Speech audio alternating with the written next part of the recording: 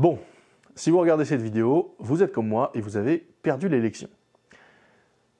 Jean-Luc Mélenchon n'est pas au second tour et vous êtes dans l'état que j'appelle la gueule de bois militante. La gueule de bois militante, c'est en gros, eh bien, vous avez euh, investi euh, un petit peu d'espoir, vous vous êtes investi peut-être dans la campagne, peut-être que vous avez essayé de convaincre des gens autour de vous, et puis raté. Raté, vous avez l'impression que tout ça a servi à rien, et très simplement, vous comme moi, on a le somme.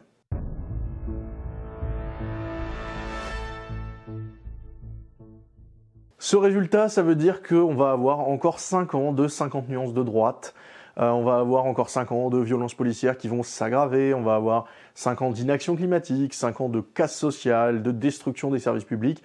On le sait, euh, on sait que ça va se passer, et du coup, évidemment, ça nous met mal. Ça nous met mal, et c'est un peu logique. Assez clairement, euh, les candidats qui sont au second tour actuellement sont des gens qui défendent le fait que, tout simplement, eh ben, on détruise les droits sociaux des gens, qu'on continue, qu'on finisse de détruire l'hôpital, hein, parce que c'est aussi ça l'objectif, euh, qu'on euh, commence, enfin qu'on entame vraiment encore la destruction euh, de l'éducation nationale avec ce qui a déjà été démarré pour le lycée, mais qui va se poursuivre sur le collège. Enfin voilà, il y a plein, plein de choses qui vont se, se mettre en place. Destruction d'à peu près tous les services publics qui sont, qui sont là. Bon, voilà, on, on, le sait, on va avoir 5 ans de ça. Et forcément, c'est déprimant. C'est déprimant. En plus, c'est évidemment des années euh, dans lesquelles on va voir vraiment les effets du changement climatique, où il va y avoir vraiment des catastrophes assez énormes qui vont être liées à ce changement, puisque là, il commence déjà à y avoir quand même des choses assez importantes. Je pense à des canicules ou à des tempêtes, surtout sur le territoire français, ça va surtout être ça. Et puis euh, beaucoup en Outre-mer aussi, euh, pas mal de problèmes au niveau de l'Outre-mer, parce que, bah, oui, euh, notre Outre-mer, il y, a énormément d'endroits qui sont entourés d'océans, et les océans sont très très impactés par le changement climatique. Donc il y a aussi ça qui va se mettre en place. donc on sait que bah, le pays aura pas la même tronche dans 5 ans que ce qu'il a maintenant. Et on sait aussi, et ça c'est un apport du dernier rapport du GIEC, que en fait les dégâts qui vont être causés au service public vont avoir un impact sur le nombre de morts suite à ces catastrophes, puisque euh, bah, on sait maintenant, euh, il y a tout un tas de, publications qui l'ont montré, que bah, s'il n'y a pas de service public, euh, si il est compliqué d'accéder à ces services, eh ben les gens meurent plus facilement des catastrophes. Voilà, des gens qui ne devraient pas mourir meurent. Voilà, c'est déjà en train d'arriver dans l'hôpital public et bientôt ça risque d'arriver suite aux catastrophes écologiques. Du coup voilà, dans 5 ans, le pays va faire la gueule, encore plus qu'aujourd'hui, et et on peut rien y faire. C'est ça, le, c'est ça le, la conclusion? Non.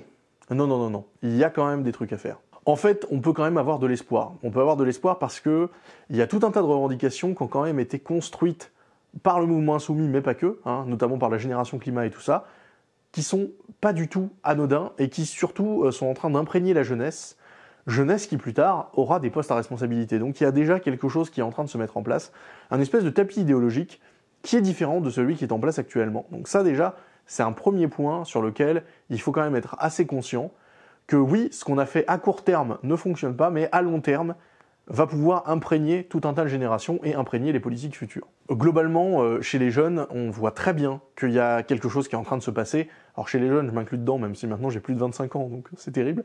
Mais euh, il y a quelque chose qui est en train de se passer, assez clairement. Euh, il y a les générations climat, évidemment. Déjà, on peut parler de ça. Donc il y a une conscience écologique qui est quand même très très répandue maintenant chez, les, chez la jeunesse. La conscience sociale aussi. les injustices, c'est quelque chose qui a de toute façon tendance à toujours mobiliser énormément et ça va continuer à mobiliser, et euh, les jeunes actuellement sont encore plus mobilisés sur les injustices que ce qui était euh, le cas des générations précédentes.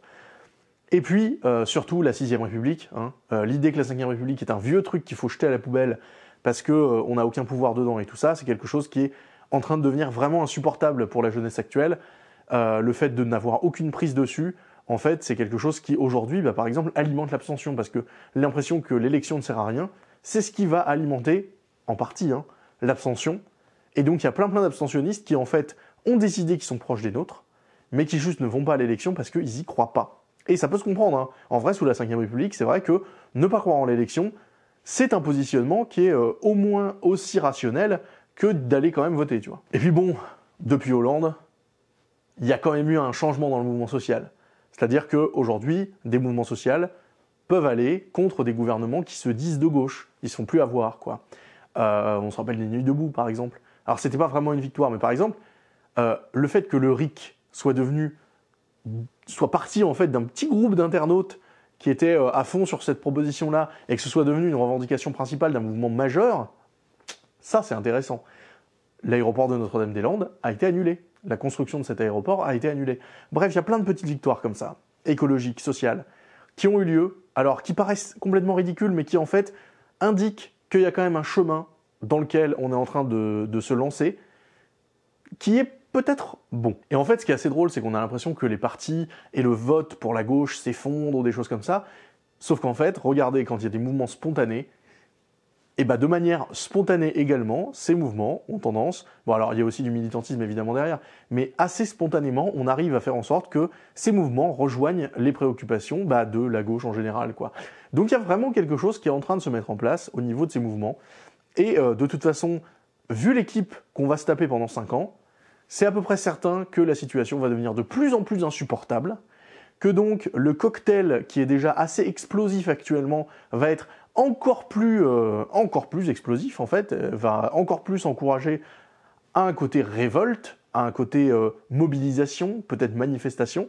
Et donc il y a quelque chose en tout cas qui va se passer au niveau social. Ça c'est quasiment certain. Faut bien se dire que le pouvoir macroniste là qu'on a eu pendant 5 ans, il a quand même bien bien joué avec le feu. En rendant les riches de plus en plus riches, en rendant les pauvres de plus en plus pauvres, il a quand même réussi à mettre un sentiment d'injustice en place qui est quand même assez énorme. Sentiment d'injustice qui est aussi euh, mis en avant parce que quand même, c'est euh, des gens qui ont pas des casseroles derrière eux, hein, ils ont des chaudrons derrière eux. Vraiment, c'est assez fou. Et ils sont restés en place. Et en plus des chaudrons, ils ont des échecs électoraux énormes. Hein. Euh, départemental, régional, j'en parle même pas. quoi. Vraiment, il y a un truc assez ouf qui s'est passé à ce niveau-là.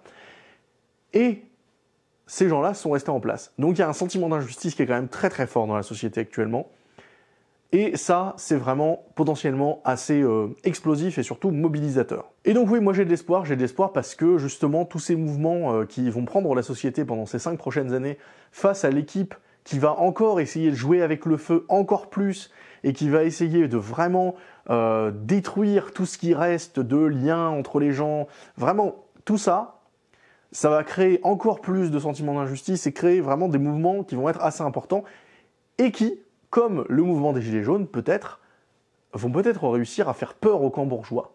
Et ne serait-ce que faire peur aux camps bourgeois, c'est déjà récupérer pas mal de choses et pas mal d'initiatives. Et je pense que justement cette peur du camp bourgeois, euh, elle peut mener à des catastrophes, hein, elle peut mener à... Euh, euh, alors moi ce que je vois là, c'est quand même une augmentation des violences policières et notamment de leur forme. Il y a quand même eu pendant ce mandat un certain nombre de morts du fait des activités de maintien de l'ordre. Donc il y, a quand même eu des choses qui euh, font un petit peu peur pour la suite, notamment au niveau de l'autoritarisme. Peut-être que les manifestations pendant le prochain quinquennat seront réprimées avec des balles réelles. Voilà. C'est une vraie possibilité. Qui se serait imaginé en 2017 que Emmanuel Macron allait euh, tirer au LBD sur des gens, euh, en éborgner une quantité assez importante, faire perdre cinq mains? Enfin, vraiment, voilà. Donc, il y a une possibilité d'autoritarisme qui est très forte. Donc, ces mouvements sociaux pourraient très bien être réprimés de manière assez énorme. Après, je pense que euh, des mouvements sociaux qui sont réprimés de manière aussi énorme et de manière aussi disproportionnée alerteraient peut-être d'une certaine manière la population qui viendrait peut-être rejoindre et soutenir ces mouvements. Bref, c'est une, autre possibilité. Puis bon, il est possible qu'il ne se passe rien, hein. il est possible que pendant ce quinquennat, euh, il n'y ait rien qui se passe. Voilà, qu'on soit dans une résignation totale et que finalement il ne se passe rien du tout. De toute façon, euh, me croyez pas, encore une fois, hein, moi j'ai quand même euh, prédit que euh, Emmanuel Macron sera pas au second tour, finalement c'est le cas, bon bah voilà, c'est la vie. Bref, il est possible que je me plante complètement, n'oubliez pas, euh, un semi-prophète, c'est moitié génie, moitié débile. Donc oui, perdre cette élection reste une mauvaise nouvelle, bien évidemment.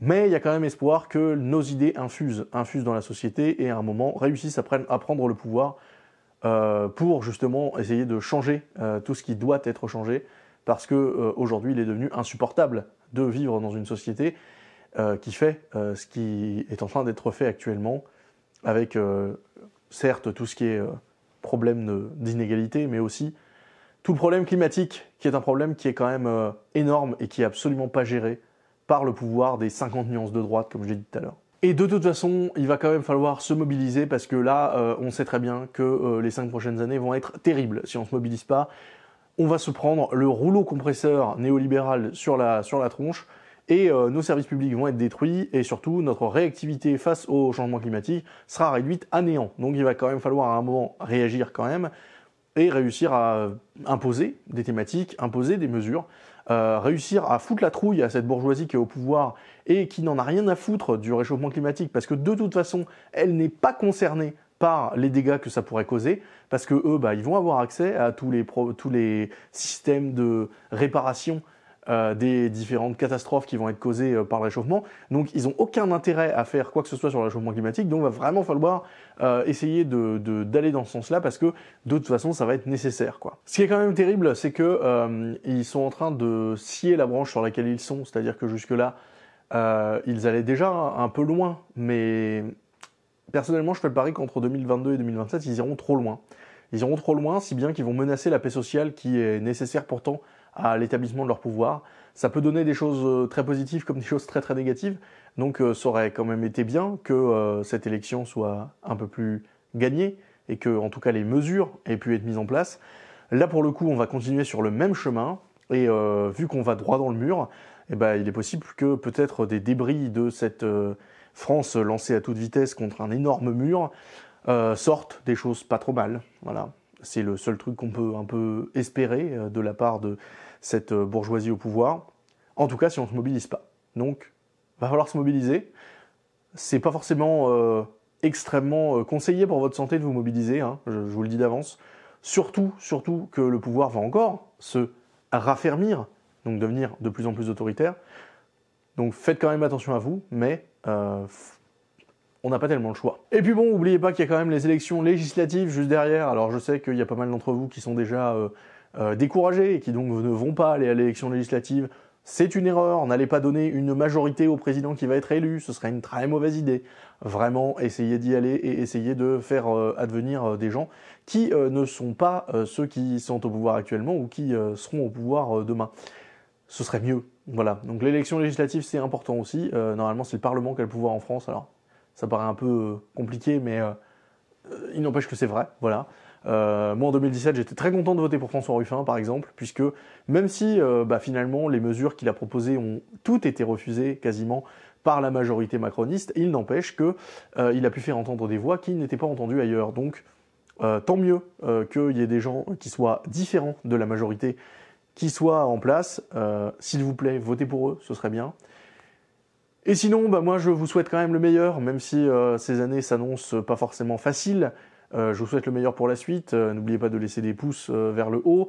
N'hésitez pas aussi à vous abonner, à mettre la cloche. Il y a beaucoup de gens qui regardent les vidéos mais qui ne sont pas abonnés. Si vous le souhaitez, si vous en avez les moyens, je vous demande, s'il vous plaît, de bien vouloir financer cette activité via notamment la plateforme Tipeee. Et puis sinon, je vous souhaite vraiment le meilleur et prenez soin de vous surtout. À très bientôt.